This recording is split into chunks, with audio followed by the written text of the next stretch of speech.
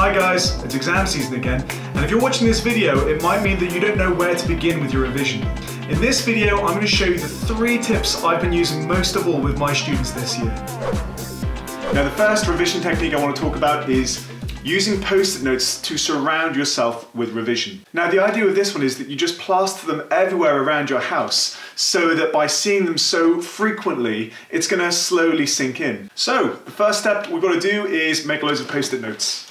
Now what I'm doing here is making post-it notes based on Burn the Witch by Radiohead, which is one of our case studies.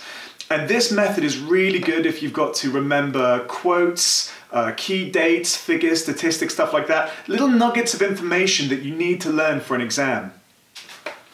Okay, so I've got a bunch of post-it notes now, and the next step is to start decorating your house. Now, where should you put these post-it notes? It makes sense to me to kind of put them wherever you're going to see them most frequently. So have a think about your daily routine. I want you to put a couple by your bedside where it's going to be the last thing you see at night and the first thing you see in morning. Put some in your wardrobe because every day you're going to be selecting clothes. Put some on the mirror while you're brushing your teeth. Why not put a few on a cereal packet? Now there's two reasons that I love this revision technique so much. The first one is that researchers have found that when you link learning to your senses, you can actually retain an awful lot more. So that means if there's a smell in the room or a taste or you're, you, you've got some kind of sensation, then you can associate that with the actual information you're trying to retain. So things like a post-it note while you're brushing your teeth are particularly effective. The second reason I think it's so great is because it's actually reminiscent of the method of Loci or Loci loci. I have no idea how to pronounce that. If you know, please let me know. But it's an ancient Greek technique where you actually build a palace in your mind and you remember the information as you travel from room to room. Well, you know your own house pretty well, so in the exam hall, you can actually be thinking like, what was the information in my wardrobe? And then I went downstairs to the cereal bowl. What was, what was the information there? Okay, so the next revision method I have for you, I take absolutely no credit for. I got this from a Twitter user called Simon Beale, who's a history teacher. He posts amazing um, teaching resources, stuff like that, so be sure to follow him. And all you're gonna need is a simple piece of A4 paper. This method is all about taking a topic and distilling it down to its absolute basics. So the first step is to fill up this entire page with everything you need to know about a particular topic. Now, I'm just going to fill this up with everything I, I need to know about uses and gratification theory. So I'm going to put down some bullet points about what it is, the background, when it was established, how it can be applied to different texts. I really want to put everything on this page.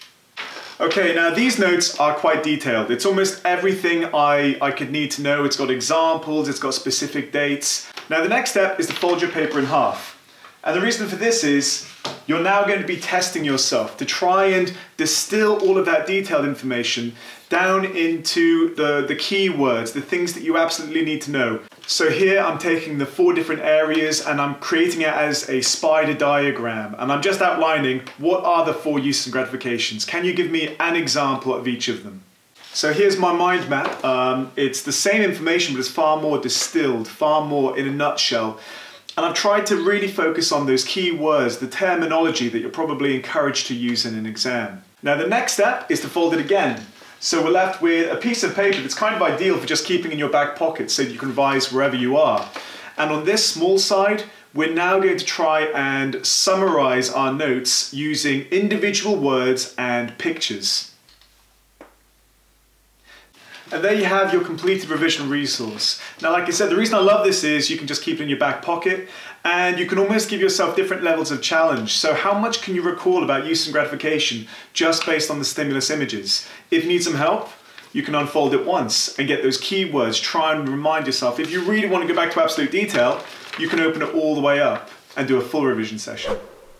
Now the final revision technique I want to share with you is to take the information that you need to learn and to make something new out of it, put it into a different form. So you might be revising a theory or a case study. Rather than just reading over your notes, do something creative. Why not write it up as a magazine article? Or you could make a talking video just like this one. You could design a PowerPoint as if you were going to be teaching it as a lesson. In making this new product, you will be aware of where the gaps in your knowledge are and you can go out to retrieve that information to put it into your new product, thereby helping you learn it. Now, this isn't a technique I'd advise you do in the days leading up to an exam. It's more the kind of thing that you can do in the weeks leading up. It's something to really solidify your knowledge. But again, it's a perfect example of how you're doing active revision rather than just passive revision. So that's all for today guys. If you're looking for further tips, you can check out this video, or if you've realized you need to brush up on use and gratification theory, you can watch that video right here. As always guys, thanks for watching, and if you don't want to miss out on any more media tips and tricks, make sure you hit that subscribe button.